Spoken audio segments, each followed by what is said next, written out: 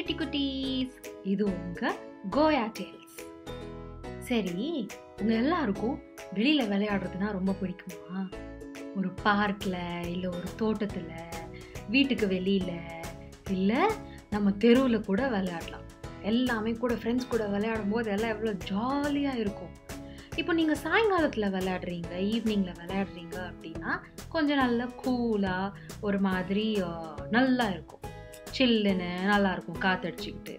ஆனால் இதே இது இப்போது சம்மர் ஹாலிடேஸ் வரும்ல ஏப்ரல் மேல அப்படி இல்லைன்னா அந்த சாட்டர்டே சண்டேலாம் வருதே.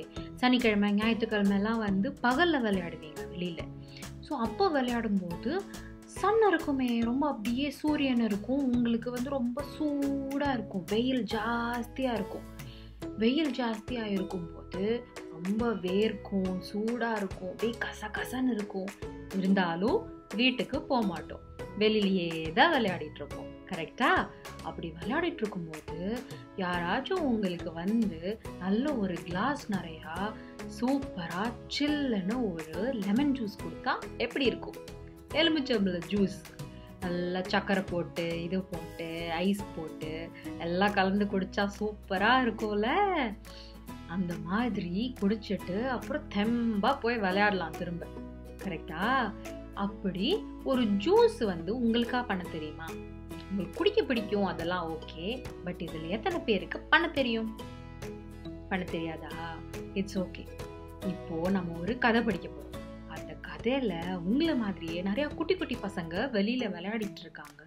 அவங்களுக்கு யாரோ ஒருத்தர் இந்த மாதிரி நல்லா லெமன் ஜூஸ் கொடுக்குறாங்க. அதுக்கப்புறம் அந்த பசங்களே கற்றுக்க போகிறாங்க எப்படி லெமன் ஜூஸ் பண்ணுறதுன்னு நம்மளும் சேர்ந்து கற்றுக்கலாமா கமான் இன்னைக்கு நம்ம ரீட் பண்ண போகிற புக்கோட பேர் பாருங்கள் செய்வோம் எழுமிச்சை சாறு. எல்லாரும் சேர்ந்து செய்ய போகிறோம் இதை எழுதியிருக்காங்க நந்தினி பாஜ்பாய் அவர்கள். அதில் அழகாக படம் வரைஞ்சிருக்காங்க நிலோஃபர் வாரியா அவர்கள். அப்புறம் இது ஒரு English book Pratham books publish பண்ணியிருக்காங்க.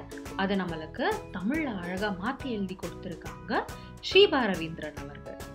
ஓகேவா? ஸோ இந்த கதையில் என்னன்னா ஒரு எட்டு ஃப்ரெண்ட்ஸ் இருக்காங்க. அந்த எட்டு ஃப்ரெண்ட்ஸும் ஸ்கூல் முடிச்சதுக்கப்புறம் ஒரு அரச மரத்தடி அரச மரம்னா தெரியுமா? இப்போ ஆலமரம்லாம் இருக்குல்ல? அந்த மாதிரி இதுவும் நல்ல பெரிய மரம். ஒரு அரச மரத்தடியில் வந்து இந்த மாதிரி கண்ணாமூச்சி நொண்டி அப்புறம் வந்து மேலே கீழே அது இதுன்னு இந்த மாதிரி நிறைய கேம்ஸ் விளையாடிட்டு இருப்பாங்களாம். அப்போது அந்த மரத்துக்கு பக்கத்துலேயே ஒரு டீ கடை ஒன்று இருக்குது அது யாரோடது? ராஜு மாமாவோடது. ராஜு மாமா வந்து ரொம்ப அப்படியே ரொம்ப வெயில் ஜாஸ்தியாக இருக்கிற அன்னைக்கெலாம் என்ன பண்ணுவாருன்னா இந்த குழந்தைங்களுக்காக அழகாக ஒரு ஜக்கு ஃபுல்லாக லெமன் ஜூஸ் நல்லா சில்லுன்னு லெமன் ஜூஸ் பண்ணி அங்கே கடைக்கு வெளியில் இருக்கிற அந்த ஸ்டூல் மேலே வச்சிடுவாராம் கிளாஸஸோட சூப்பராக இருக்கும்ல ரொம்ப நல்லவங்கல்ல ராஜு மாமா?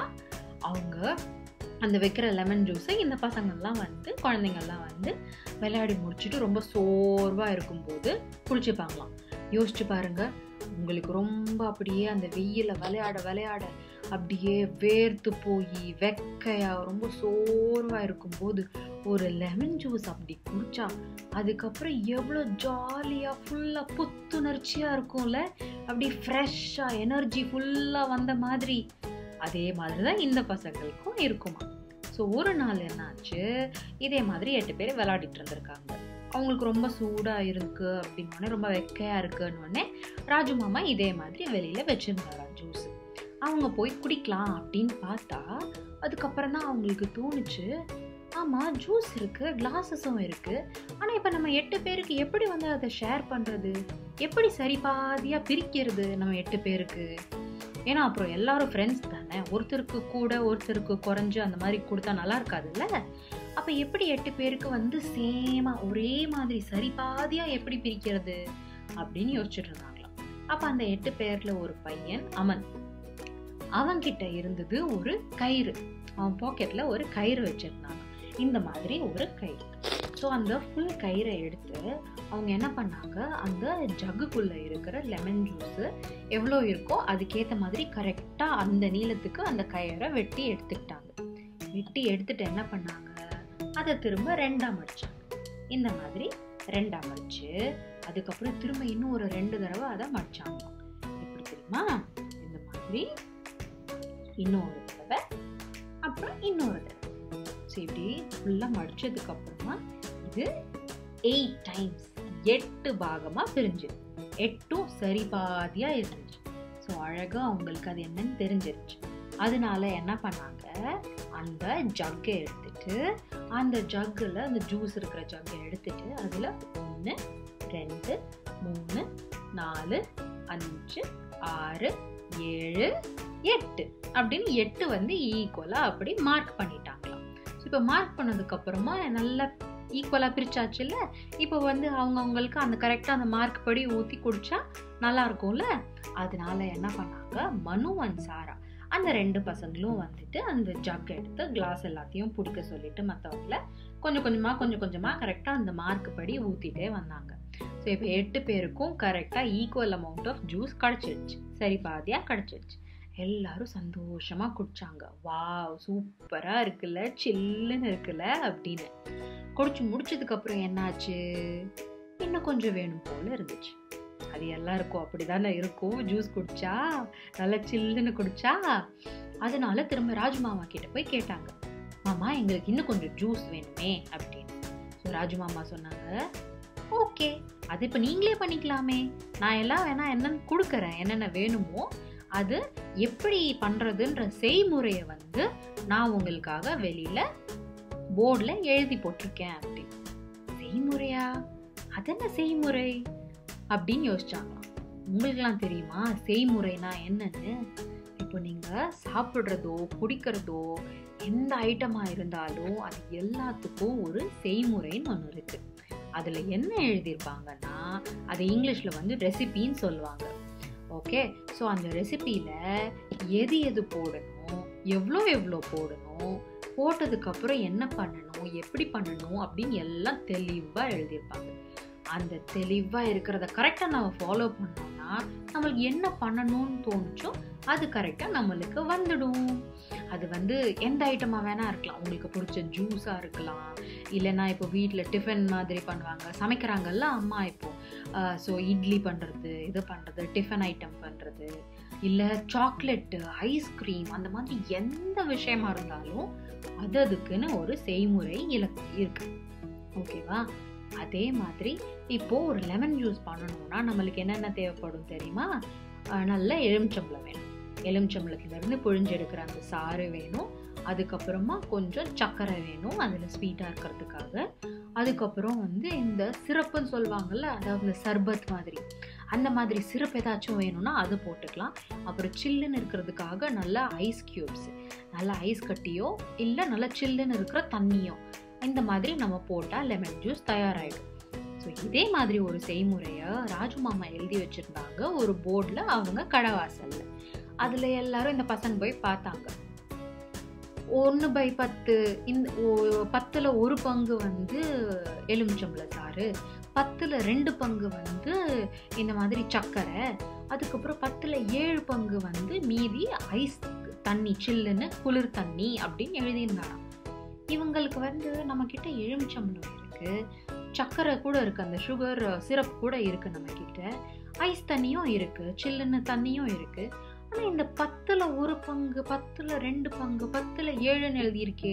இதெல்லாம் என்னது அப்படின்னு யோசிச்சாங்க. உங்களுக்குலாம் தெரியுமா அதெல்லாம் என்னன்னு? அதுக்கு பேர் ஃப்ராக்ஷன் அப்படின்னு சொல்லுவாங்க. அதாவது அந்த பங்கு அப்படின்னு அர்த்தம். அப்போது அது எப்படி இருக்கும்னா இப்போது ஒன் பை டென் ஸோ பத்தில் ஒரு பங்கு. இது டூ பை டென் அப்படின்னா பத்தில் ரெண்டு பங்கு தான் இவ்வளோன்னு இவங்களுக்கு வந்து அது என்ன பண்ணுறது அப்படின்னு தெரியல. ஸோ இப்போ பத்து பங்காக பிரிக்கணும்னா அது என்ன பண்ணுறது அப்படின்னு அதுக்கும் யோசிச்சுட்டு இருந்தாங்க. அப்போ திரும்ப அந்த எட்டு பசங்களில் ஒரு பொண்ணு வந்து குரியா. ஸோ அந்த குரியா என்ன சொன்னான்னா நம்மளுக்கு இப்போ பத்து பங்கு தானே வேணும். நம்ம ஏற்கனவே இந்த ஜூஸ் இருந்த ஜக்கில் எட்டு பங்காக பிரிச்சிருக்கோம்ல ஈக்குவலாக அது அப்போ மீறி இன்னும் ஒரு ரெண்டு நம்ம மேலே வரைஞ்சிட்டோம் ரெண்டாக பிரிச்சிட்டோம் அப்படின்னா பத்து நம்மளுக்கு தயாராக இருக்குமே அப்படின்னு சொன்னான். ஆமால அப்படின்னு. என்ன பண்ணாங்க? அவங்க அந்த காலியாக இருந்த ஜக் எடுத்து பார்த்தாங்க. அதில் கரெக்டாக அந்த எட்டு பங்கு இருந்துச்சு தானே? அதுக்கப்புறம் மேலே இன்னொரு ஒன்று ரெண்டு. ரெண்டு போட்டாங்க. மொத்தமாக இப்போ பத்து பங்கு தயார். அதுக்கப்புறம் அலோக் என்ன பண்ணான்னா எலுமிச்சம்பளத்தை புழிஞ்சு அந்த சாறு எடுத்துட்டு ஒரு பங்கு எலுமிச்சம்பழ சாறு ஊற்றிட்டான் அந்த ஜக்கில். அப்புறம் இன்னொருத்தர் வந்து அந்த இன்னொரு ரெண்டு பங்குக்கு வந்து சுகர் சிரப் அந்த சக்கரை போட சொல்லியிருந்தார் இல்லையா? அதனால அந்த சக்கரை பாகம் வந்து அந்த ரெண்டு பங்குக்கு ஊற்றிட்டான் அதுக்கப்புறம் திரும்ப மனு வந்தான். மனு வந்துட்டு அந்த மீதி பத்துல ஏழு பங்குக்கு தண்ணி ஊற்றணும்ல சில்லுன்னு தண்ணி அதையும் அவ ஊத்திட்டான். இப்போ ஒன்று ப்ளஸ் ரெண்டு ப்ளஸ் ஏழு.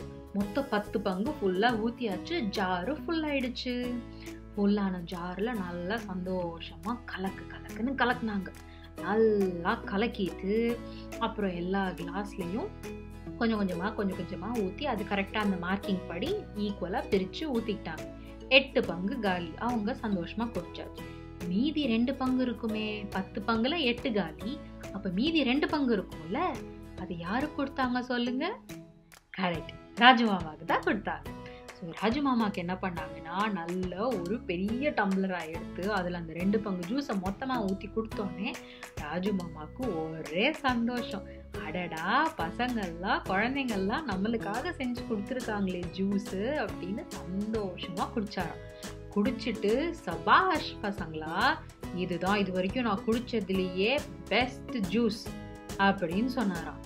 ஆனால் இது கூட இன்னும் கொஞ்சம் நல்லா சுட சுட பக்கோடா இருந்துச்சுன்னா இன்னும் சூப்பராக இருக்கும் அப்படின்னாராம் உம் கேட்கும் போதே நல்லாதான் இருக்குல்ல. பசங்க எல்லாரும் ஏ ஏ தேங்க்யூ ராஜு மாமா தேங்க்யூ அப்படின்னு சொல்லிட்டு சந்தோஷமாக இருந்தாங்க. அதுக்கப்புறம் விளையாடி முடிச்சுட்டு வீட்டுக்கும் போயிட்டாங்க. இப்போ அவங்களோட சேர்ந்து நீங்களும் கற்றுக்கிட்டீங்களா எலுமிச்சம்பழ ஜூஸ் எப்படி பண்ணுறதுன்னு இதுல அந்த பங்கு பங்குன்னு இருக்கே அது எல்லாமே வந்து உங்களுக்கு புரிஞ்சுதா? ம்?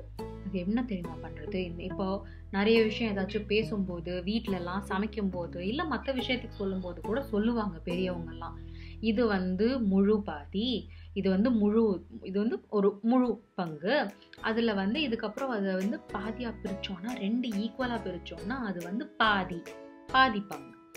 அதையும் வந்து இன்னும் ரெண்டு ஈக்குவலாக நம்ம பிரித்தோம் அப்படின்னா சரி பாதியாக பிரித்தோம்னா அது வந்து கால் பங்கு.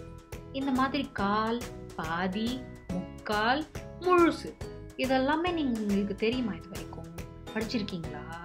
ஆ? படிக்கலன்னா என்ன பண்ணுங்க? இப்போ இதை என்ன பண்ணுறதுன்னு பார்க்கலாம். ஓகேவா இப்போ இந்த மாதிரி ஒரு ஃபுல்லாக ஒன்று எடுத்துருக்கீங்கன்னா அது ரெண்டு சரி பாதியாக நம்ம பிரித்தோம்னா அது பாதி. அந்த பாதியை இன்னும் ரெண்டு சரி பாதியாக பிரித்தோம்னா அதுதான் கால் பங்கு. இப்போ இந்த கால் பங்கு குட்டியாக இருக்குல்ல இதை இதே மாதிரி ஒரே சைஸில் ரெண்டு கால் பங்கு எடுத்து சேர்த்தோம்னா அது திரும்ப பாதி ஆயிடும் அந்த பாதிக்கு மேலே இன்னொரு கால் பங்கு போட்டிங்கன்னா இதுதான் முக்கால் பங்கு. முக்கால் பங்குக்கு மேலே இன்னொரு ஒரு கால் பங்கு சேர்த்தீங்கன்னா முழு பங்காயிடும் திரும்ப. முழு எலுமிச்சம்பளம் மாவாயிடும். ஸோ இதுதான் அந்த ஃப்ராக்ஷன்ஸ்னு சொல்கிறது ஸோ இப்போ வீட்டில் யாராச்சும் பெரியவங்க இருந்தாங்கன்னா வீட்டில் ஒரு குட்டியாக இந்த மாதிரி எலுமிச்சம்பளம் ஏதாச்சும் இருக்கும்ல அதை வந்து நீங்களும் கட் பண்ணி பாருங்கள் அம்மா எது இப்படி முழுசாக இருக்கே? இந்த முழுசில் பாதி என்ன பண்ணுறது கால்னா என்ன பண்ணுறது முக்காவாசினா என்ன பண்ணுறது எனக்கு சொல்லி கொடுங்க அப்படின்னு கேட்டு நீங்களும் நீங்கள் வெட்டக்கூடாது. அவங்கள வெட்ட சொல்லி அதுக்கப்புறம் நீங்களும் கற்றுக்கோங்க நீங்கள் கற்றுக்கிட்டதுக்கப்புறமா இப்போ ராஜு அங்கிள் சொல்லி கொடுத்து ராஜு மாமா சொல்லி கொடுத்து இந்த பசங்கள்லாம் பண்ணாங்கல்ல அது மாதிரி நீங்களும் சூப்பராக ஒரு எலுமிச்சம்பளம் ஜூஸ் வீட்டில் பண்ணலாம். பண்ணி அம்மா அப்பாக்கெல்லாம் கொடுங்க. ஒரே சந்தோஷமாக இருப்பாங்க. உங்களுக்கும் அப்படியே ஒரே "ஹ, நான் பண்ணியிருக்க ஜூஸுப்பா அப்படின்னு இருக்கும். கரெக்டாக ஸோ இதெல்லாம் நீங்கள் வீட்டில் ட்ரை பண்ணிட்டு இருங்க. நான் அடுத்து இன்னொரு ஒரு சூப்பரான கதையோடு உங்களை வந்து பார்க்குறேன். では、ダダグティース